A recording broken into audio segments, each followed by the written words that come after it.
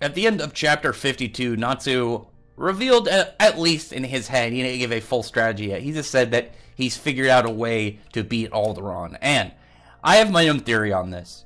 And there's the first one I think is the easier one that I can just kind of like get through really fast. And it's just like, oh yeah, neat. Is if Natsu ended up making a bunch of versions of him and he ended up fighting them either he's fighting himself and getting stronger, or maybe he t- like makes all these copies and he's like, oh, let's all team up against Aldoron. I don't think it's that one because it'd be really weird if you had this. Yeah, I have this ability that makes all these uh, copies of you know uh, of people that uh, uh, you know the, these enemies think are strong in their hearts. I could make like these clones of them, but then it's just like yeah, they just turn on them. They're like, what's the point of making them? You're just helping them. The idea either of Natsu having them turn into himself or they turn into people he's fought, characters that he's fought throughout the series. I don't, which including I won't think, uh, well, excluding Zarafak and Logia, because I don't think that'd be a good idea for him to think of them. But um, you know, all these like easy characters like a, right here, uh, you know, Animus, Mard Geer, Future Rogue, uh, Ikus Tsunagi, and Ikus Tsunagi obviously wouldn't be uh, much of a fight. Well, I guess none of them would really be much of a fight to Natsu now, except for probably Animus, but if they're in mass, then you know it's not just like there's one of them. It looks like there's dozens. If he's fighting them in huge hordes, it's gonna you know be enough to make him stronger. And and as well as I I, I put Eclipse Leo in here because I was just like it'd be really cool. Maybe we can have some like confirmation of if that arc is canon. If if he ended up like I'm just gonna think of all the bad guys I fought, you know, makes a bunch of them and then keeps fighting them until he's more powerful. It, in terms of like that, there it'd be cool in the idea of oh yeah he's you know you're gonna get to see him just pretty much in like one chapter go through all of his enemies like at once and there's multiples of them that'd be super badass. But also in the idea of i think in the the more like aggressive one where if they made a bunch of versions of himself and he's just knocking down like constant natsus like one after another and he's just got to like beat them all. You know maybe they start dropping their other forms like you know lightning flame dragon mode dragon force fire dragon king mode and I don't think it will be like, oh yeah, he does this and then he's strong enough to beat Aldoron. I think it's just like an idea for him to become more powerful.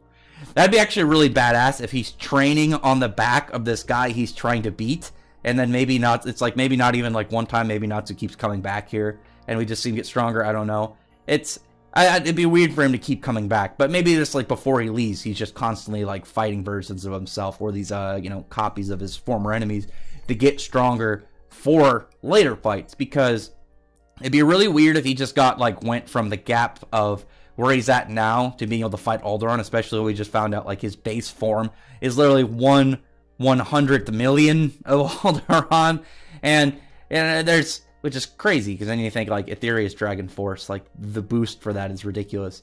But um, when you really think about where he's at now and where he's gonna be, obviously that's a big gap. I don't think it's gonna be as easy as like, oh yeah, right now. I could easily see like some form of small time skip, maybe some form of just like training arc where it's just like, yeah, we're gonna train, and then maybe they get stronger.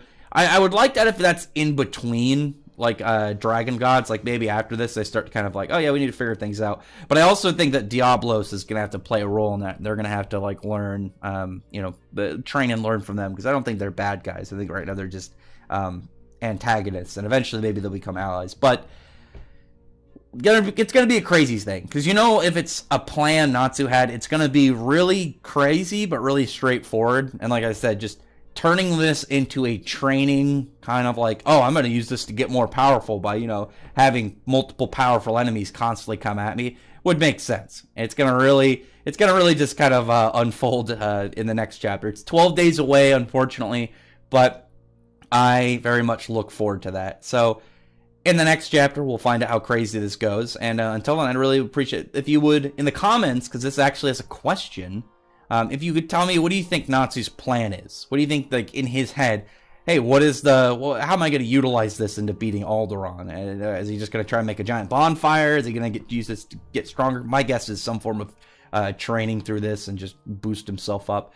But other than that, uh, comment below, thumbs up the video, but from the like button, subscribe button, and check out my other videos. Other than that, I appreciate everyone who's already subscribed, and I thank you all for listening. Bye.